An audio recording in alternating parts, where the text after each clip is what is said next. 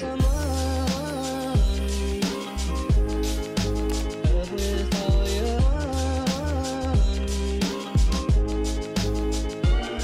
what's up you guys? Thanks for joining me. Today, I want to discuss a case that just recently broke within the last week or so. There aren't a lot of details, but I wanted to sit down and talk about his story and take a few moments to remember a little boy named Zachary Sabin. He was an 11 year old little boy whose life was tragically cut short after his father and stepmother forced him to drink an excess amount of water as a punishment. This resulted in him developing a condition known as water intoxication, which ultimately ended his life because it was left untreated. Like I said, this case just broke, so there aren't many details that have been released yet. So this video is going to be a bit different and a bit shorter than most of my normal videos. Zachary Joshua Sabin was born on September 2nd, 2008 in Wichita Falls, Texas. He was born to his biological mother Angela and father Ryan. Ryan was in the army, so the family moved around quite a bit before eventually settling in Colorado Springs, Colorado. They had one other child together, but eventually the two separated, and both have since remarried. Zachary was part of a large blended family, having nine brothers and sisters when he passed away. And I want to talk a little bit more about the family dynamic. Zachary, along with five other children ranging from 2 to 15 years old, were living with their dad Ryan and his wife Tara when this occurred. It's unclear whether or not Zach's biological mother lived nearby or in another state, or what their custody agreement was but it does seem that Ryan was the custodial parent at that time. They lived in a beautiful five bedroom, 4,600 square foot home that was surrounded by woods. As I mentioned earlier, Ryan is a first sergeant in the military, and his wife Tara works at a company called Tessa, which I'll talk more about in a minute. Their house was purchased for $742,000 in 2019, so it seems they were doing very well for themselves. Zachary was a fifth grader at Explorer Elementary School in Colorado Springs and can be described as a kid with a goofy spirit who was always smiling. He was mostly quiet and liked to find places to hide away with a good book because reading is what he enjoyed doing the most. When he was being social, his laugh was contagious.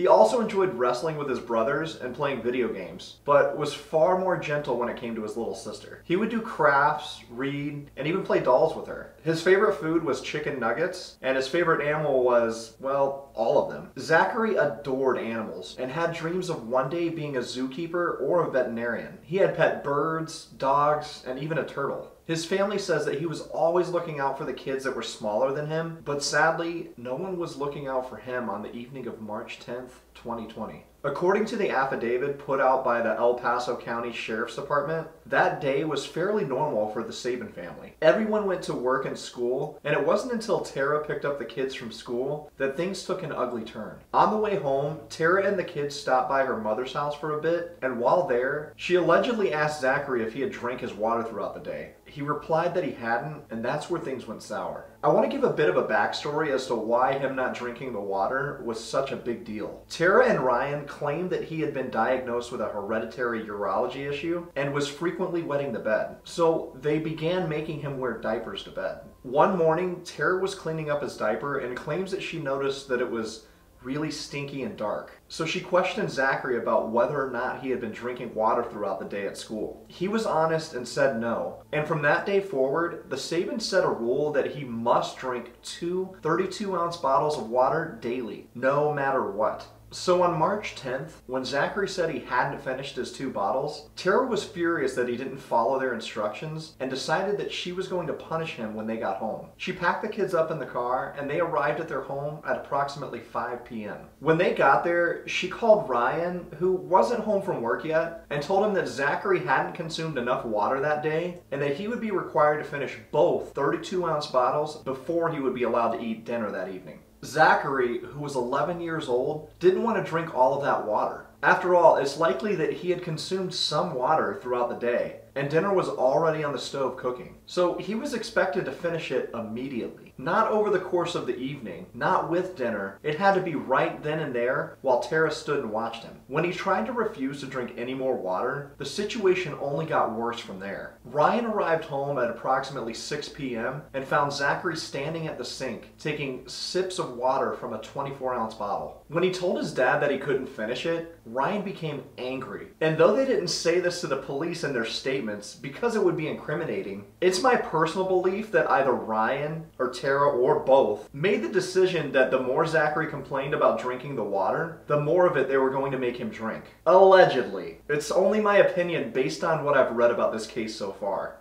The other children in the home were interviewed after Zachary's death, and they each had different but similar thoughts about the situation at hand. One of them stated that it seemed like too much water for a fifth grader, and another thought that it seemed impossible for Zach to drink so much water in such a little amount of time. Zach was struggling to drink the water to the point that he was literally throwing it up at the sink. And one of the kids stated that he threw up at least 10 times throughout the course of the evening. He wasn't allowed to put his water bottle down. And the more that he struggled to drink through tears and vomiting, the more the Sabins made him drink. While this was happening, the rest of the family went and sat down in the dining room and ate dinner, telling their other children that they weren't allowed to go into the kitchen because Zachary had vomited everywhere. Ryan went into the kitchen at one point during dinner and lectured him about responsibility and told him that he was drinking the water too slowly, which was causing him to, quote, get air in his stomach, which caused the water to sit on top of it. He then told Zach to burp it out and keep drinking. Tara told him to just get it over with so that he could eat dinner, and stated multiple times during her interview that Zachary was, quote,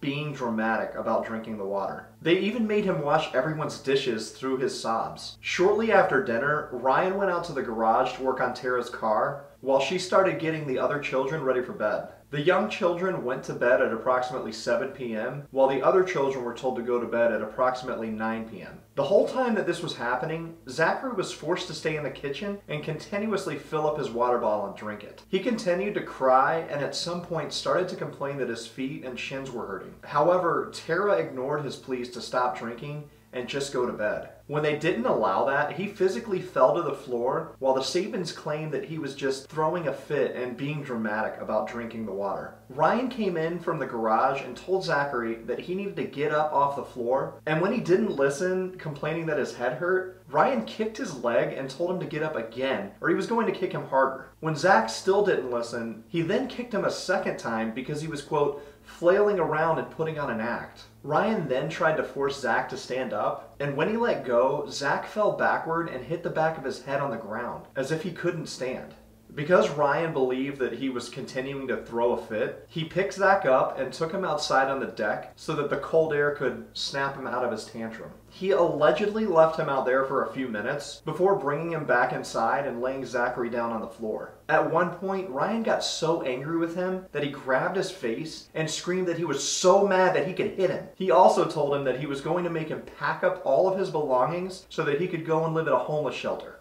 After a few minutes, Zach fell asleep and both Ryan and Tara could hear him snoring. Tara claims that she tried to wake him up, but he was hardcore sleeping and wouldn't get up. He then allegedly sat straight up in the floor, crossed his legs, slumped forward, and began snoring yet again. At approximately 11 p.m., when Tara and Ryan decided that they were done with it, Ryan told Zachary that it was finally time for bed. Again, still not allowing him to eat anything, despite the fact that he had drank all of that water and hadn't eaten anything in nearly 12 hours since lunch that day at school.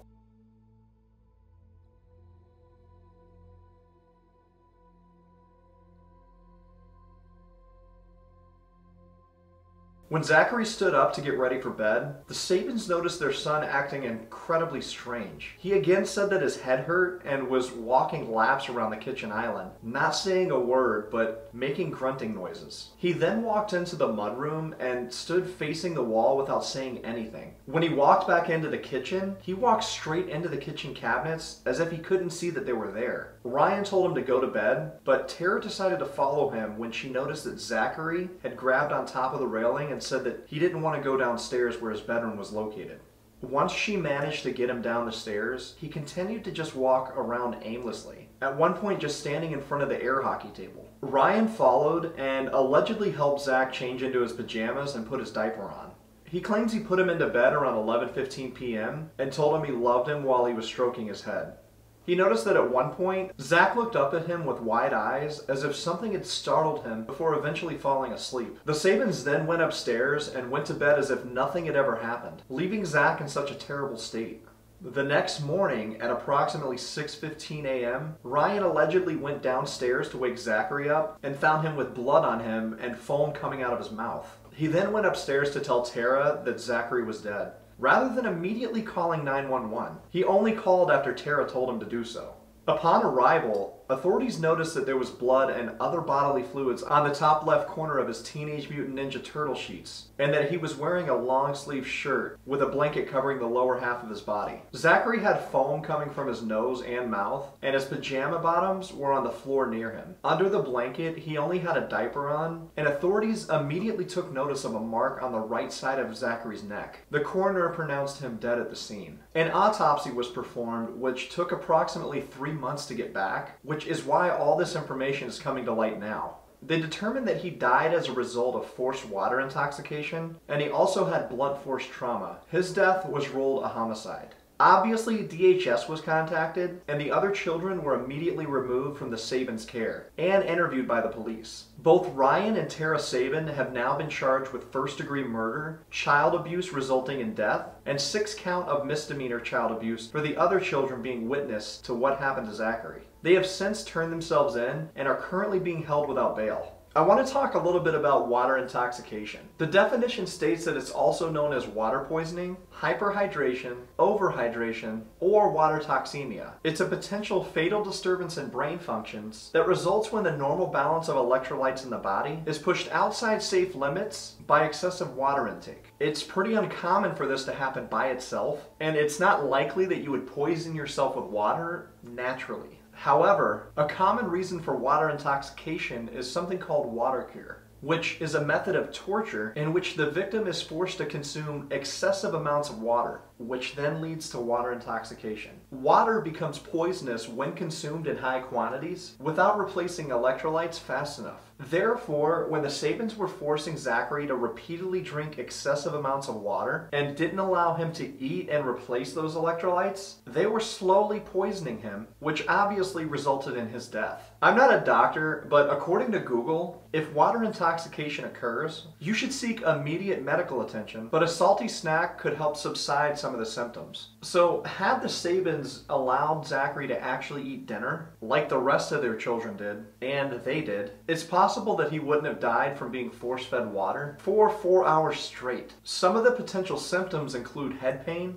cramping, spasms, weakness in your muscles, nausea or vomiting, and drowsiness or fatigue. It can also cause seizures and loss of consciousness. The Sabins noticed that Zachary was acting dramatic and weird throughout the entire evening, especially as time went on, and right before they put him to bed. They could have easily Googled these symptoms the same way that I did. They could have recognized that they might have fucked up, and they should have treated him to make sure that he was okay. Instead, when he complained of a headache, that his feet and legs were hurting, that his legs were like jelly, and when he was repeatedly vomiting, falling asleep sitting up, etc., they ignored his pleas and thought that he was being dramatic. And they let him suffer in bed by himself the entire night. Like we discussed in the Garnett Spear story, excess water can cause swelling in the brain, as well as comas, hyponatremia, or death. I am honestly pissed about this case, and it's heartbreaking to think what Zachary had to go through in his bed that night. That he was slowly being poisoned to death, and he went through it all by himself, while his evil piece of shit parents were lying comfortably in their bed, not giving a damn. Just a side note, I wanted to mention that Tara works at a place called Tessa, which ironically is a domestic violence center. Their site says that they, quote, empower victims of partner violence to take back their life that is rightfully theirs. And they also help children and teens as well. So they advocate for victims. Yet still to this day, they're employing a woman that jointly murdered a little boy.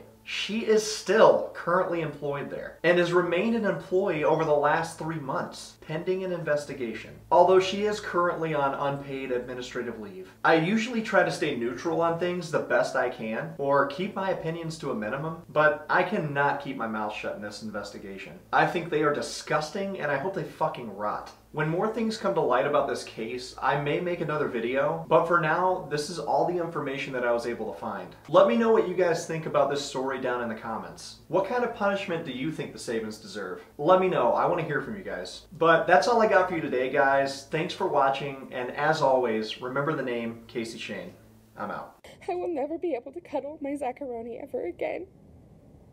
I will miss my Zac Attack sweet nature. I will never be able to hear his contagious laugh. This is by far the hardest thing I've ever had to endure in my life. No parent should ever have to bury their child. I remember going into his room many weeks after he passed and finding a book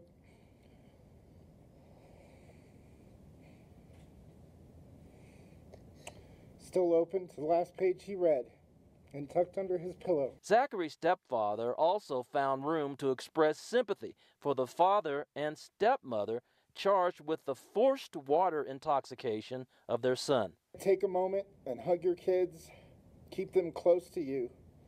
And most importantly, if you are a struggling parent, don't be afraid to ask for help.